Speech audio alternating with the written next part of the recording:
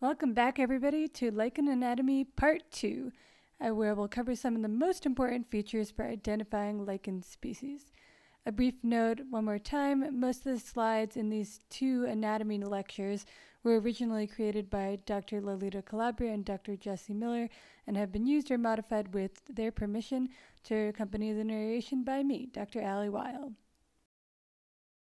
So, in part one, we talked about the lichen thallus, its internal structure, and the main three growth forms. Uh, and this part, part two, will focus on a lichen's reproductive structures and a few other external structures. And the reproductive and other external structures are some of what make a lot of lichens look as cool as they do. Um, and they're pretty important to know if you want to identify any lichens beyond their most basic growth form. And if you flip through a Lichen ID book, you're going to find that there are many, many more structures with names than we have time to cover here, and many variations on the ones that we will cover. So I'm just going to try to focus on the most important ones for identifying common lichens, and that's going to start with the reproductive structures.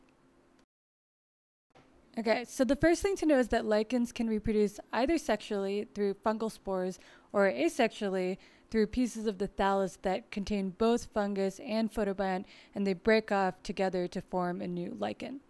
And there are different structures that facilitate either sexual or asexual reproduction, and lichens can do either or both, um, but species are sometimes defined by what reproductive structures that they do have.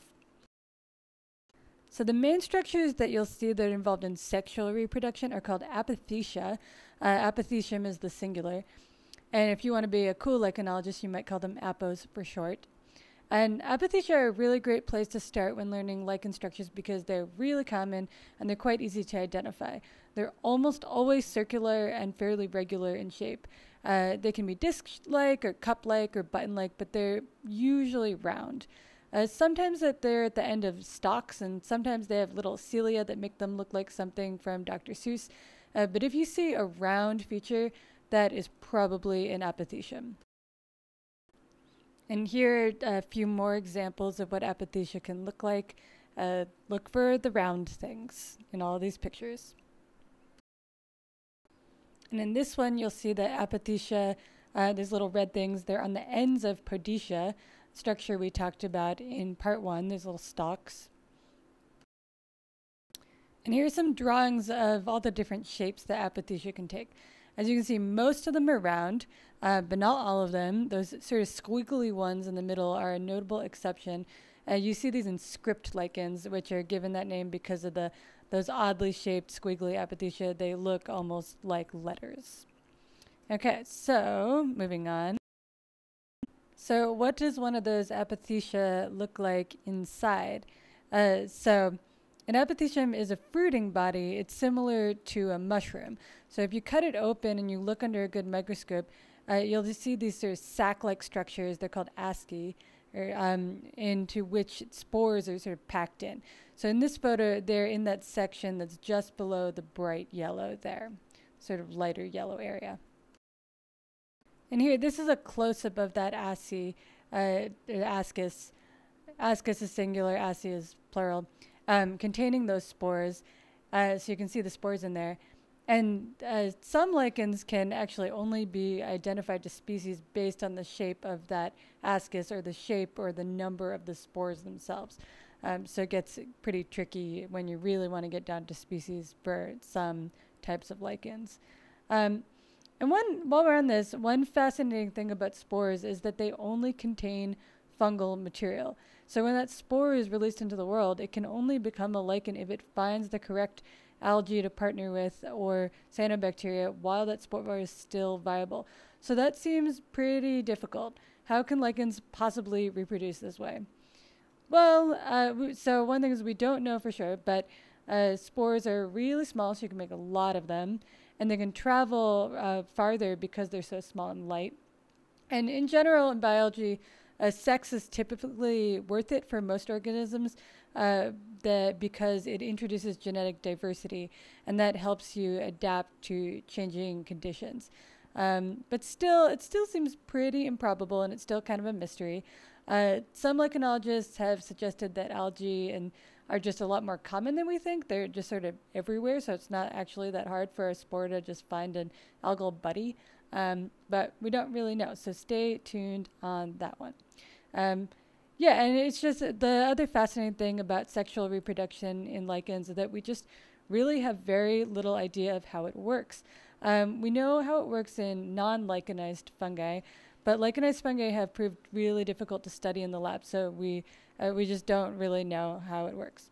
Okay, so those are the apothecia.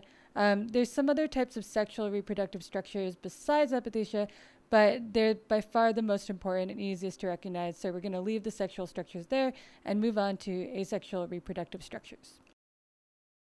So, a more straightforward way to reproduce if you're a lichen is to simply break off a piece of yourself that can then go forth in the world and then start a new thallus. It's like how some flatworms can regenerate entirely new bodies and even new brains if you slice them in half, or more familiar for you botanists out there, how you can grow new plants with things like cuttings. So, um, asexual reproduction is great in general because you don't need to find a partner, sexual or symbiotic, and you can just split off parts of yourself. Uh, the downside is that the pieces can't travel quite as far, and you don't get as much genetic diversity introduced. Uh, still, lichen fragments can still travel quite far in this way. Um, and for example, by hitching a ride on a far flying bird is a thing lichens do. Um, and in some cases, pieces of the thallus just do kind of break off to start new thalli, and you could maybe do this by cutting a piece. But lichens also have specific structures that facilitate this kind of reproduction, which we're going to get to now. So probably the most important asexual structures are called soredia. So soredia are these tiny balls of fungal hyphae enveloping a few photobiont cells. So they have both key partners in the lichen, so new lichen thallus can grow right away. And they can look sort of powdery or grainy, um, but they, you, they stand out distinct from the surface of the lichen because Soredia don't have any cortex tissue, which is uh, often shinier. So Soredia are often grouped into these little clusters, and those little clusters are called Soralia. So Soralia are distinct clusters of Soredia. And they can occur sort of just on top of the cortex, or they can be on the margins or the tips of the lobes. There's a lot of different shapes. Um, but Soredia can also just sort of be spread more widely across the thallus. They don't always occur in Soralia. And sometimes Soredia are like really obviously Soredia um, is very distinctive, but there's also some other powdery types of features that can be a little confusing at first. Um, but still, if something looks like a blob of powder or little grains, kind of like if you dipped the lichen's edge in glue or painted some spots of glue and then dipped it in powder, um, that's that's sort of what it looks like. Other asexual structures that contain both fungal tissue and photobiont cells are isidia. So these isidia, they're finger-like projections, and they contain uh, cortex tissue, which Soredia do not, and they sort of just look like a little narrow outgrowth of the thallus. Okay, so going back to this drawing that we had up before, you can see that there's a whole bunch of different asexual structures, but they're really all doing the same fundamental thing. They're breaking off bits of photobiont, that little black circle there, uh, and fungus together. And in the bottom row there, you can see that Soredia, they're not covered by cortex if you look closely, while Isidia and lobules, another structure that's pictured here, they do have that cortex included. And lobules, they're really just these very narrow lobes, usually growing horizontal to the thallus. Isidia and lobules describe different shapes uh, more so than fundamentally different structures. And in general, just don't get too caught up on determining whether a particular little outgrowth of the thallus is an isidia or a lobule, or even a soralia or isidia. The definitions can kind of blur together. Um, so just get a general idea for what these different things kind of look like. Uh, one more asexual reproductive structure that's probably worth knowing about are uh, pycnidia, uh, because they'll they'll occur pretty commonly in some of the lichens we'll get to know. And pycnidia produce sort of a asexual spore called conidia. In practice, it looks like these little dark dots on the cortex. It's a little bit like an apothecium, um, but the spores it produces are asexual, here's a drawing so you have some idea of what's inside those little dots. Uh, but don't dwell on this too much unless you want to take a deep dive into the mysteries of lichen reproduction. Okay, that's it for reproduction today. We have a handful more structures to get through. For most of these, we're less concerned with their function, um, which in some cases may not be known, uh, than what they look like, because uh, these are distinguishing features for many genera and species. Okay, so first off, one that we mentioned briefly in the first part of this lecture, rhizines. So rhizines are root-like structures attached to the lower cortex of a lichen, typically a foliose lichen. They are not, however, actually roots like plants have roots. They do not transport anything. Um, so lichens get all of their water and nutrients from the air, and they absorb it through the cortex. Um, but rhizines are sort of similar to roots only in that they anchor the lichen to its substrate, just as roots can anchor a plant to the ground. Um, and as you'll see in this drawing, rhizines can have these different branching patterns. They can be unbranched, they can be forked, or squarrose. Uh, you can usually observe these branching patterns with a little hand lens um, or a microscope. Uh, similar to rhizines, but growing out from the margins of the lichen or around the edge of the apothecium um, instead of from the lower cortex are cilia. So cilia are these little hair-like projections. Um, they're pretty distinctive to some common lichens in the Bay Area, like Parmotrema. Uh, you can often see these with your naked eye, but sometimes you need to look pretty closely. All right, we are getting very close to the end. Okay, pseudocyphellae and cyphellae are sort of small pits or breaks in the cortex. So cyphellae are like these little craters, and they contain specialized cells, more sort of a regular specialized feature, while pseudocyphellae are uh, more irregular sort of spots associated with cracks in the cortex. Um, we don't know that much about why they're there, but they're pretty important for identifying some common or interesting Bay Area species. Uh, is actually the more important one because they occur in more different kinds of lichens, whereas cyphellae are really only limited to this one uh, fairly uncommon group.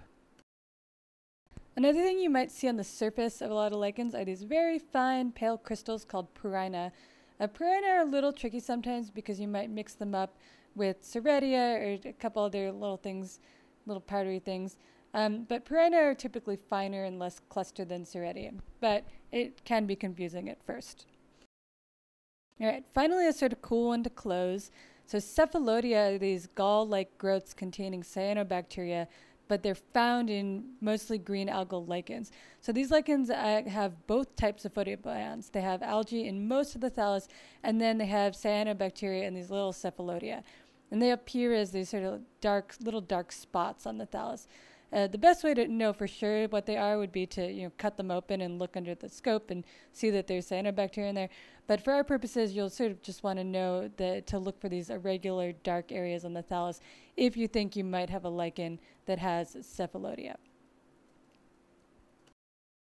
Okay, so wrapping up, it's know this. Uh, it's less important to remember the names of all of these different things we've talked about than to just know that these types of things, these types of textures and structures, uh, that these are things worth observing and to make note of them if you want to identify the lichen. So if you run into a description of a lichen that's pruinose, you can always look that up. Uh, that's super easy to do. What's more important is that you're paying attention to all of the lichen's features and have some idea of what to observe so that when you go to identify it, um, you can match the things you observe to those descriptions. That said, there's a, some key terms that are really good to know off the top of your head um, that I hope you'll remember after this lecture. And I would say those most important ones are apothecia, soredia and soralia, isidia, rhizine, and cilia. So if you have a good idea or some idea of what those are, you are doing great.